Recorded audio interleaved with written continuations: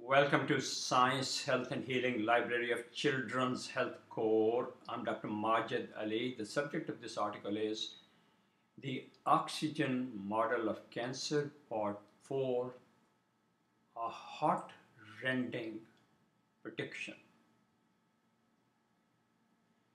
The main reason I decided to post this series on my oxygen model of cancer on the Encyclopedia of Children's Health Corps rather than on Science, Health and Healing for Adults is this heart-rending prediction that I'm going to make here. In the next 25 years, there will be an epidemic of cancer among children. This is not fear-mongering. This is not a cheap thrill on my part to attract attention. In the first part of this series, oxygen model of cancer, I briefly outlined what it is and in the second chapter segment, I gave you my background. I told you that the first article I ever published as a young pathologist in a peer-reviewed journal that was a coincidence, was in the prestigious journal Cancer, and that was back in 1975 or 1976. I have written extensively on the subject, and I gave you the evolution of my ideas and the development of this oxygen model of cancer. In a nutshell, all clinical, experimental, biologic aspects of cancer are related to the fundamental derangements of oxygen metabolism, signaling, detergent functions, ATP energy generation in the cells, and cellular renewal. The three primal threats to oxygen functions are toxicities of our food, toxicities of our environment, and toxicities of our thought.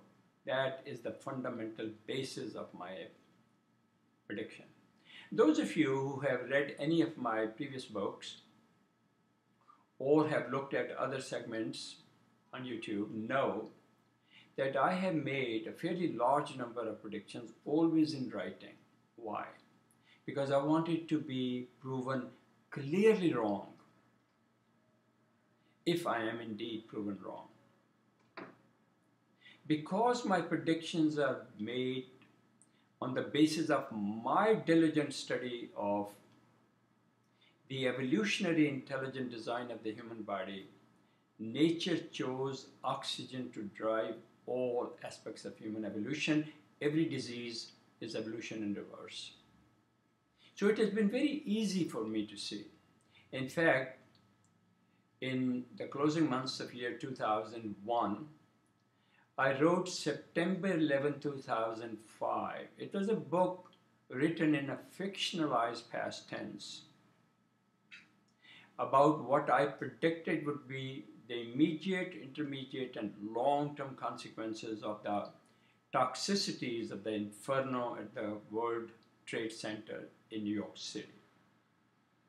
Those people who have read that book know that every single prediction in that book came true except for one. I thought they would complete the monument much sooner. Navy News in back in 1995 ran a front page story which started that long before the first veterans returned from Kuwait War, the first Iraq War, Dr. Majid Ali, a pathologist at Columbia University, made these five predictions. I was writing at that time a book, The Canary and Chronic Fatigue Syndrome, and I saw the oil fields going up, and I knew what goes up will come down. And so to me, there was not much to predict there. So my prediction, I hope that I'm proven wrong. I highly doubt that that would happen. So, why do I make this heart-rending prediction?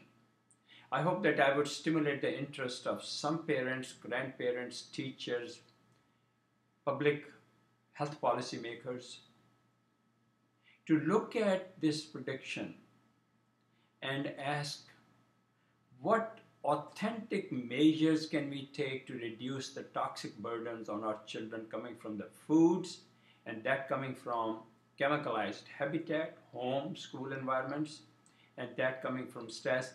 Absolutely, children suffer from stress. There should be no illusion about it.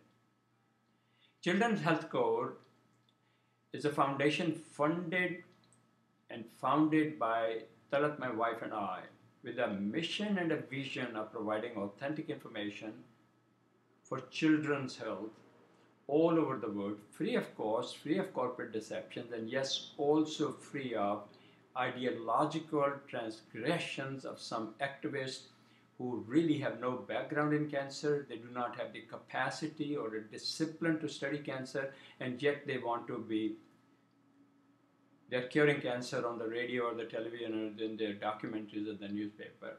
They have a lot of blood on their hands. Should you wish to participate in our larger vision, please visit our website www.kids123.org. It will tell you how you can support our vision. Or you can just Google Kids123 how can I help? And that will take you to the page where we make some suggestions. But most of all, we are interested in your own creative ideas of how we as individuals might make contributions, small or large, to protect at least some children of the world from this impending disaster. Again, I so fervently hope that I will be proven wrong. Until we meet again, may you be gracious, graceful, and generous in your spirit. Please do join me again. Thank you.